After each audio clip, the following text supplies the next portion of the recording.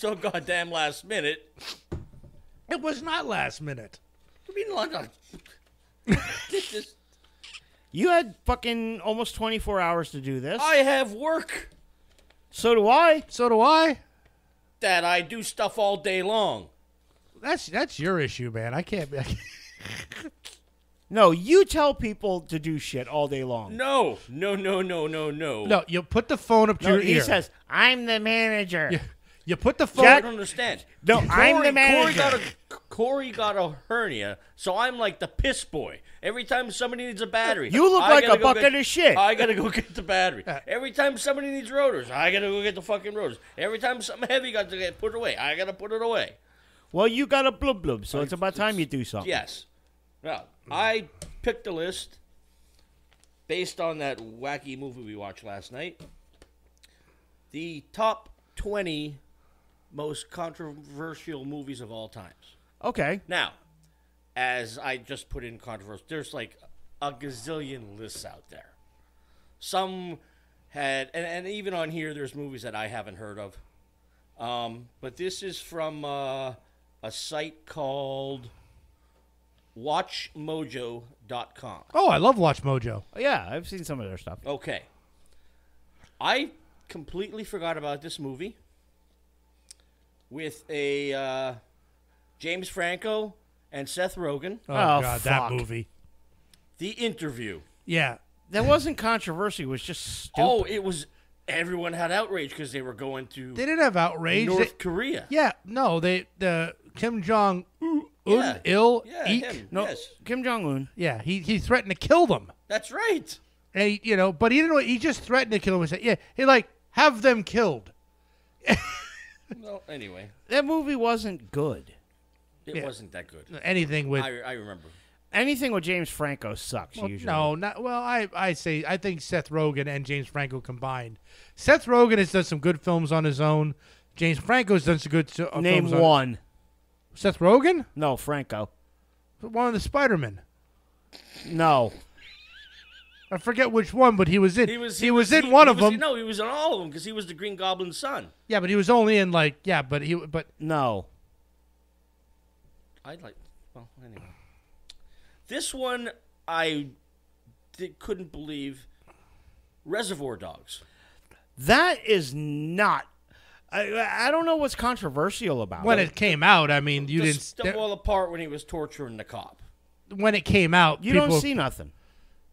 Well, he his ear I still, You don't- I still that can't is hear stuck never in the middle shown. with Oh, you. You're right. You're right. But that's according to this. This is what was causing an uproar for Christ's sake. Yeah. I didn't think it was controversial either. You never see him cut the ear off. You see the ear gone, and you see him. Put it to his mouth and say hello. Yeah, and you see him go, going with the gas can. And the best thing is when when Mick Foley saw that scene, he's like, "Ah, been there." Yeah.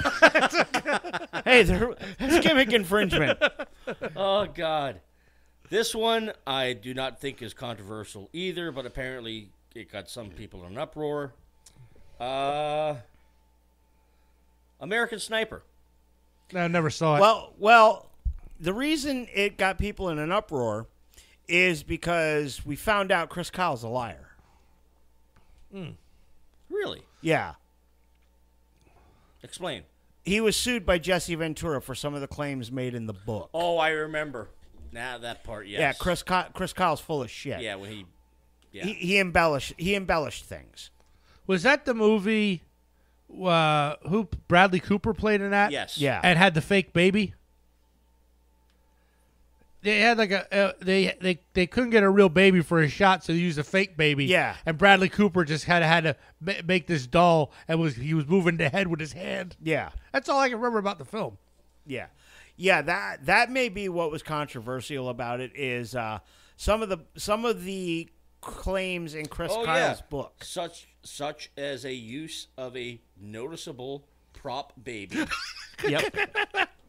Well, that should make it controversial. No, that, that just, just- makes it shitty. that- that- Uh, prop- and- and- shitty prop guys. right. and and at a certain point, the film's box box office success took on a more political meaning as conservatives nailed or rallied behind it, and liberals decried it. Yeah. Uh, it, I mean, it was a very polarizing movie uh, on the political side of Yeah, things. Yes. But like I said, Chris Kyle was uh, Mm-hmm. Was was proven to be uh, to have taken liberties Mm. with what was supposed to be a factual account. any movie I see that says anything like is like it's always based on a true story. There's too many liberties that are taken by with every one of these. Well, like just remember, kids, that whole based on a true story thing. Texas Chainsaw Massacre says it was based on a true story. yeah, Okay. The Freddie Mercury was based on a true story, and there were so many fabrications in that. Yeah, but no, Texas Chainsaw Massacre is uh, a very, very fantastical take on Ed on the Ed Gein story. Yep. So, all right, all right. Now, what's next? A movie I've never seen. Uh, it's called Crash. Great movie. Heard That- of it. That beat Brokeback Mountain for the Oscar that year. Are we thinking of the same one? Which which crash is this? 'Cause This is so- about this is in '96, and it's about a film producer who gets into a car accident with a lady, and he runs into a whole subculture of deviants who are get turned on when disasters. No, it's a different happen. Crash. I know what one you're thinking The- about. okay, okay, yeah, because there's two different films called Crash. Yes. Uh, Brokeback Mountain lost the Oscar to the crash that we're thinking of. Okay. And that one was like somebody, it like somebody got into a crash, and then somebody went and and and It's just like stories that yes, intertwine. and they all just intertwined at the yeah. end. Yeah. That's a it's a, that's a great movie. yeah, that movie is good. that's a great movie.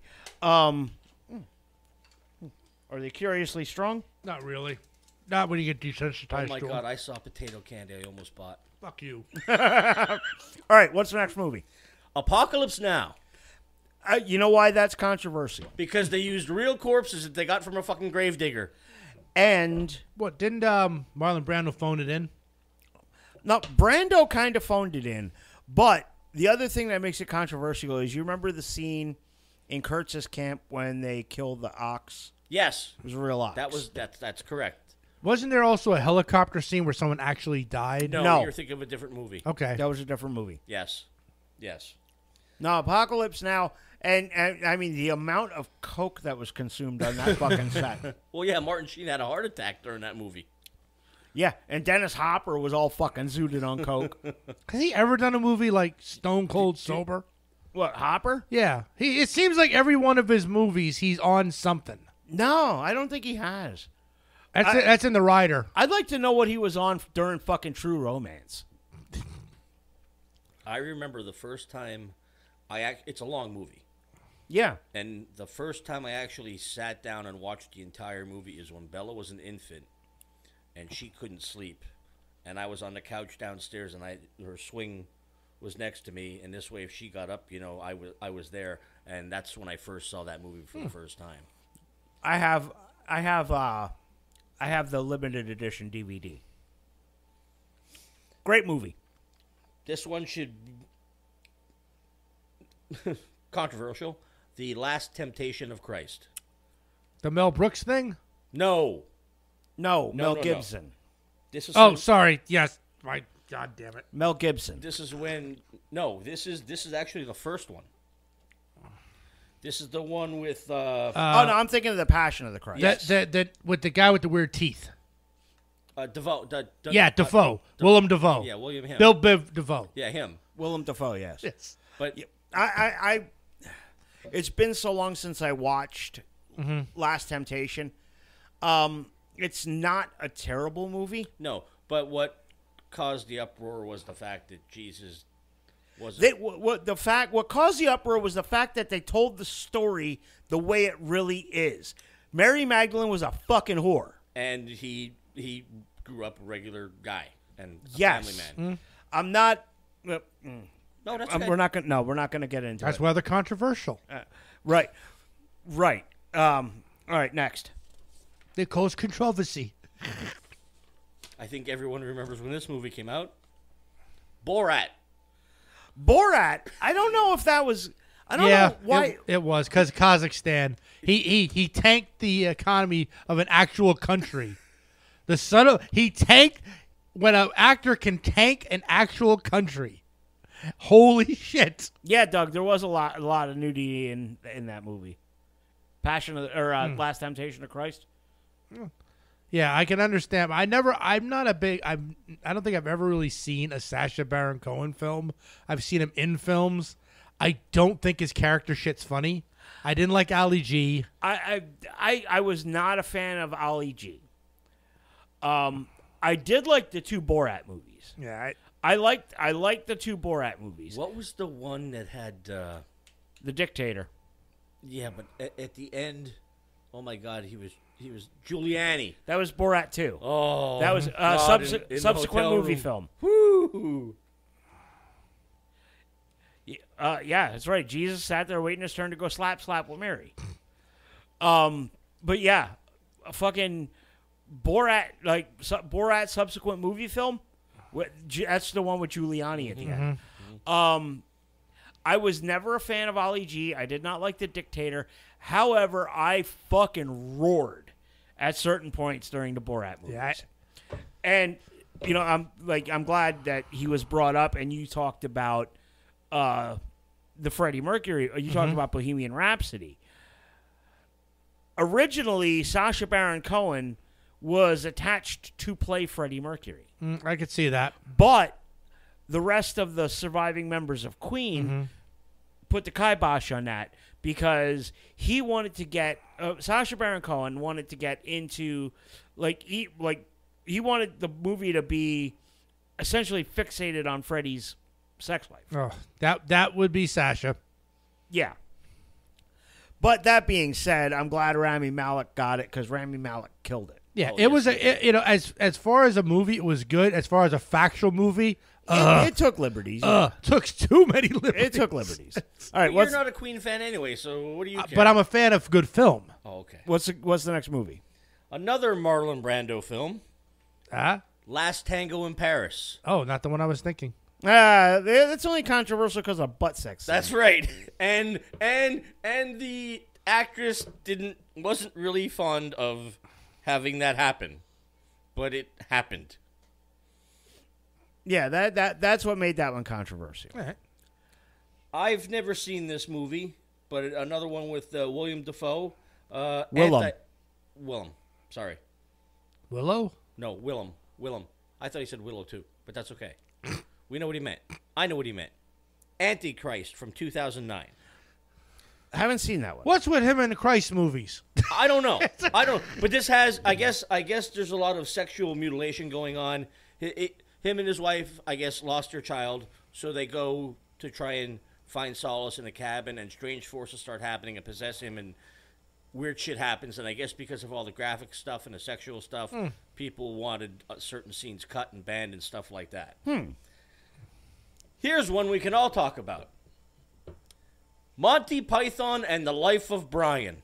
Oh yeah. I can see why, uh, I know ex- especially yeah. especially in a conservative England at the time. Uh, you know, under the It Thatcher was banned in many. What do they have? Co- counties over there, or mm-hmm. Counties, yeah. Counties. Yes. It- it- I mean, I can understand it, especially in a Thatcherite Yeah. junta. Yes, and seeing John Cleese's interview, where they're basically talking, you know, talking about how the movie is, is amazing. And then Rowan Atkinson did a spoof where he's talking about Pythonism. Yeah. and, and it's just, eh, I mean, the whole that whole thing, of course. But then, of course, uh, him being nude uh, in Tunisia did not help because No. they don't like nudity over there. I mean, yeah, the whole everything was played with controversy. But the whole thing is that was Python stock in trade. yeah, You know, uh, that was that was Python stock in trade. They did not toe the Thatcherite line. no, no. Hey, Brian, what's going on? Evening, Brian. there we go. All right, what's next? I've never seen this movie. This is from 1995. It's called Kids. Yep, that movie is Very controversial. And it'll it'll it'll it hurts. Mm hmm. Okay, because it's about. I saw like spreading somebody unknowingly spreading HIV. Not to- unknowingly. Oh, he Oh, knew what he was knew doing. it. Oh, Yeah. he knew what he was doing. Yeah. Oh, Yeah. Well. Yeah. Yeah, and it's pretty much uh It's a hard. It, that's a hard watch, It, it's a very hard watch. and especially the way it was shot. I mean, it is a damn hard watch. It's a it's a it's a it's a very good movie, Mm-hmm. but it's one of those movies that you only ever need to watch once. Yeah, It, you know that that goes on a list like that with uh, like Schindler's List. Mm-hmm. You know, wonderful movies. You know, I mean, fabulous movies. Yeah. but you only want to watch them once. yep. All right, Can what's you not next? read your typing? Yeah, no, I didn't type. He cut. Here's another. He another- copy pasted. No, no, no. I just printed. Because you know, Oh, it's not even a proper copy pasta. no, not a copy pasta. You could just do a screenshot.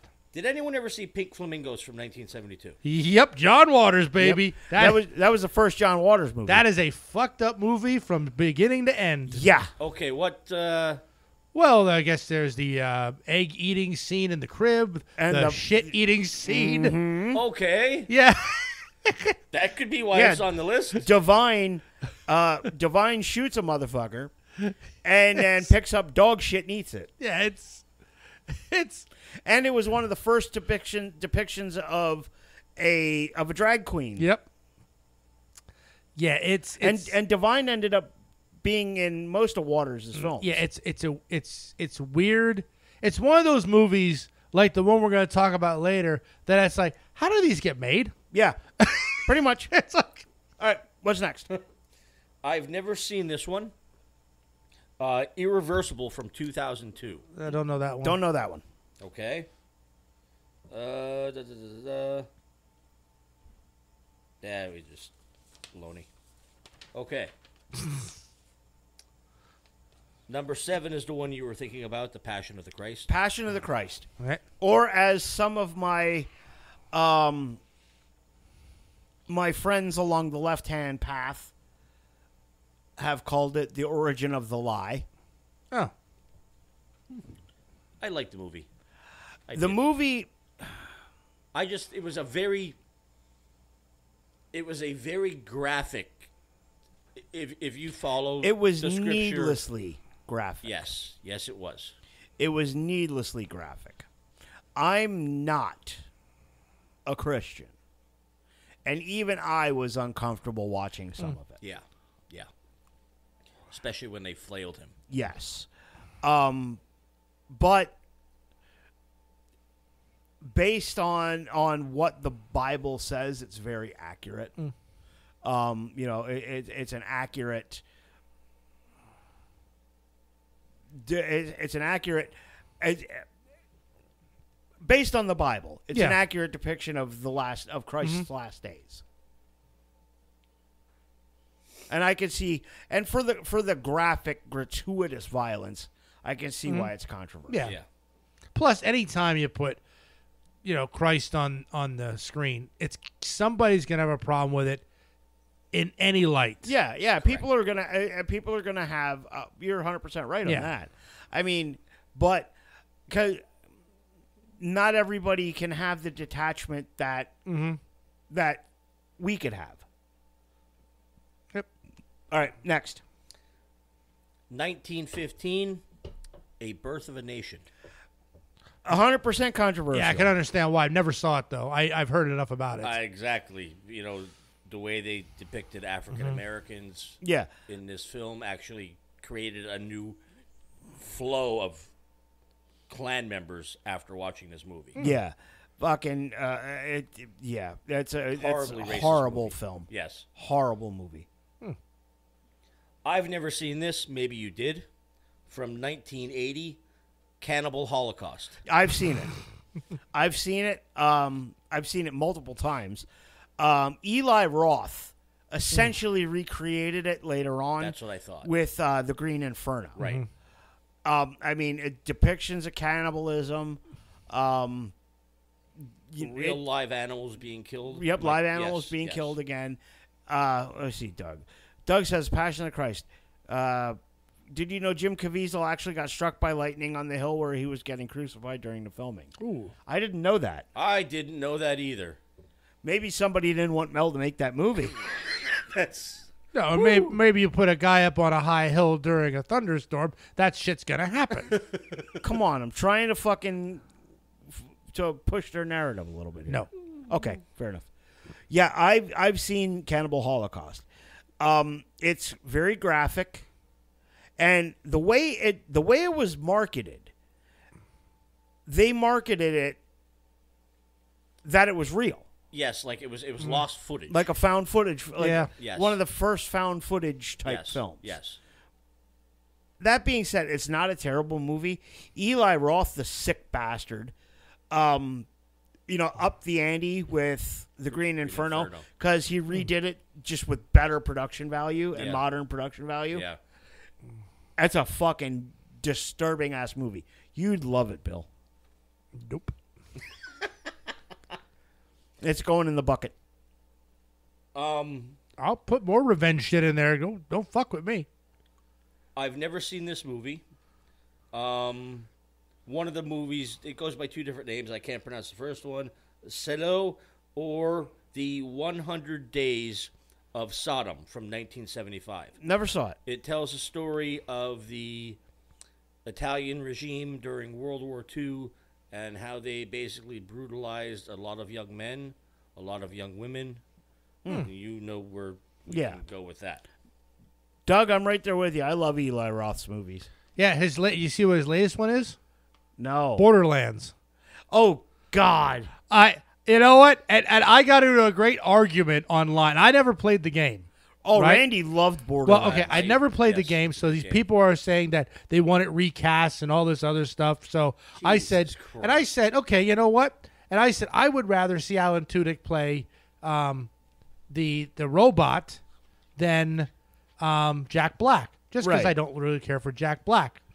And they said, but you're okay with Kevin Hart playing like this character? And I said, yeah, I find Kevin Hart kind of funny. I, I enjoy his comic timing. Yeah. And there's the, he he's not a comedic person. He's a hardened soldier. I'm like, okay, I didn't know that. I don't know the game.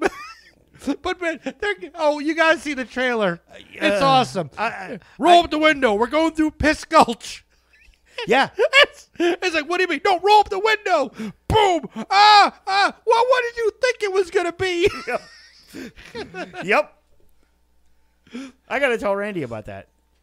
He he's a big fan. He was a big I'm, fan. I of the want to see it. It looks awesome. It looks like Jumanji three. To be honest. Yeah. I mean, it's it looks wonderful. All right. What's next? I've never seen this movie. Um, it's called a Serbian film. I've never seen it either. I cannot. Fi- I I need to look on AFTA. Yeah, I, I I've never seen it either, and I I've from what I've heard- heard of it, I don't want to watch it. Oh yeah, this is about a, a down on his luck adult film Yes. actor There's- who decides there's- to do anything for money, and Yeah. it's nasty shit. yes, Yes. There's some fucking really really off-putting stuff in this movie. Yes. Um, I actually, I've, I've tried to find it. No streaming service in the United States carries it. Um, you can't. I don't think you can even get it. Like buy it on Amazon, um, on Prime Video. I'm gonna check on after to see if it's on there Yeah. Okay. because I'm gonna give it a shot. I, I gave, I dude, I gave the Human Centipede a shot. I know. Uh, Oh, on the one list I had, it had one, two, and three. Uh, yeah, I gave, I gave Human Centipede a I shot. I watched them all. I didn't. Oh, I why didn't. won't they read the terms and conditions? they were just so bad. it was so bad. Oh God. Fucking South Park. Yes. This the South Park episode that parodied it. I don't. The the human sentai pad. Oh no. Yes. Oh god. Yes. All right. How Num- many- Number two, we all know, Uh huh. The Exorcist. I, do, I, I At the can- time. At the At time, the time, yes. Mainly because of people like oh screaming in theaters and vomiting and running out and passing out. It was. Uh, I mean, it, it's one of to this day. It's one of my favorite horror Yes. movies. I sometimes can't imagine what the the public must have been like in the seventies and the sixties. The pearl clutching. Oh. that fucking must have. I mean, God forbid somebody fart in public and cause a faint. Which brings me to number one, which when we watch it today, it's a masterpiece. But when it came out, people were so pearl clutching back in 1971, Stanley Kubrick's Clockwork Orange. Clockwork Orange. Yeah. I- yeah, there was some a lot of really weird scenes in that. yeah. but you watch it, and now it's considered a it's classic. A cla- it's a classic. yes, A- and it you know it, it introduced us to the wonderful fucking Malcolm McDowell. yes. Um, I, I got nothing bad to say about a Clockwork Orange. Here, leave leave that here. Oops, sorry. Leave it. Did I do good You did good. with my last minute assignment? you got you get a gold star for the day. there we go.